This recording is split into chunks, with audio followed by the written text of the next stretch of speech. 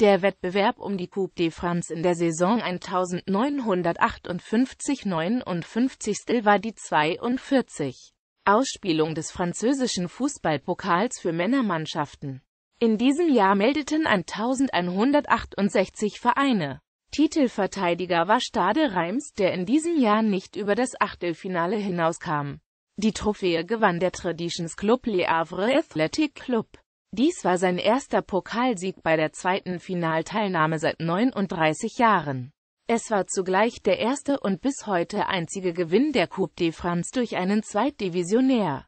Endspielgegner FC Sochaux Montbéliard stand in seinem zweiten Finale, anders als im Mai 1959 hatte Sochaux das Stadion 1937 als Sieger des Wettbewerbs verlassen. Neben dem Pokalsieger stieß mit dem FC Metz noch ein weiterer Verein aus der zweiten Liga weit vor, musste sich im Viertelfinale dann aber ausgerechnet Le Havre beugen.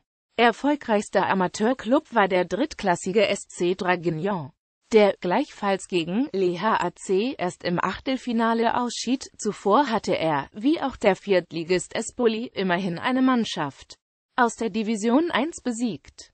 Nach den von den regionalen Untergliederungen des Landesverbands FFF organisierten Qualifikationsrunden griffen ab der Runde der letzten 64 Mannschaften auch die 20 Erstligisten in den Wettbewerb ein.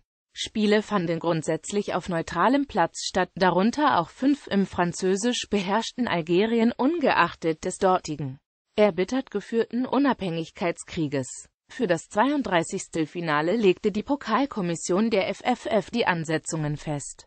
Um ein frühes Aufeinandertreffen zweier Erstligisten zu vermeiden, ab dem 16. Finale wurden die Paarungen frei ausgelost. Endete eine Begegnung nach Verlängerung unentschieden, wurden so lange Wiederholungsspiele ausgetragen, bis ein Sieger feststand. Davon war in dieser Saison sogar das Finale betroffen. Zum dritten Mal nach 1925 und 1943 musste ein Endspiel wiederholt werden. Und beide Finalisten hatten bereits im 16. Finale je drei Matches benötigt, um weiterzukommen. 32. Finale. Spiele am 11. Wiederholungsmatches am 15. und 18. Januar 1959. Die Vereine der beiden professionellen Ligen sind mit D1 bzw. D2 bezeichnet, diejenigen der landesweiten Amateurspielklasse mit CFA, die höchsten regionalen Amateurligen als DH bzw. PH. 16. Finale Spiele am 1. Wiederholungsmatches zwischen 5. und 18. Februar 1959 Achtelfinale Spiele am 22. Februar Wiederholungsmatch am 5. März 1959 Viertelfinale Spiele am 29. März 1959 Halbfinale Spiele am 12. April 1959 Finale 1 Endspielspiel am 3. Mai 1959 im Stade Olympique Yves du Manoir in Colombes vor 50.778 Zuschauern Le Havre AC, FC Sochaux 2 zu 2 N. V. Mannschaftsaufstellungen Auswechslungen waren damals nicht möglich. Le Havre AC Christian Villen AW, Kasim Hasuna, Albert Eloy, Jean-Louis Lagardec, Jacques Meyer, Eduard Salzborn, Jean Saunier, Jacques Ferrari André Strappe, Hutzine Buschache, Fred-Erik Dumbe-Trainer, Lucien Jasseron FC Sochaux. Raymond Bartemeps, Pierre Lubrano, André Masiman, Lucien Mille, Josh Bou, Joseph Telechi, Samuel Edimo, Ingwe Brod, Julien Stoppera. Zashpo Donkle, René Gardin Trainer, Gabriel, Gabi. Dormois und Paul Wartel Schiedsrichter, John-Louis Groppi Tore 1 zu 0 Ferrari 1 zu 1 Eloy. 1 zu 2 Gardin 2 zu 2 Buschache Wiederholungsspiel.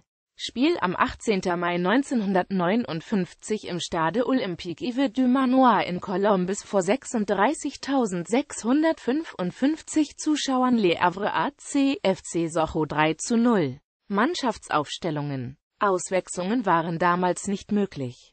Le Havre AC Christian Villen AW, Kasim Hasuna, Albert Eloy, Jean-Louis Lagardec, Jacques Meyer, Eduard Salzborn, Valentin Navarro, Jacques Ferrari. André Strappe, Hutzine Buschache, Fred-Erik Dumbe Trainer, Lucien Jasseron FC Sochaux.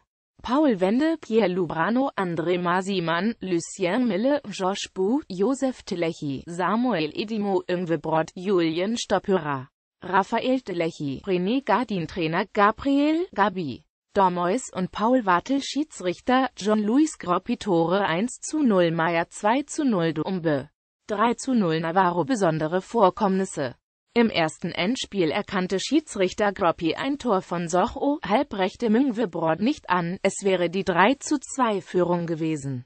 Weil er in den Schuss des Schweden hinein die erste Halbzeit der Verlängerung abgepfiffen hatte.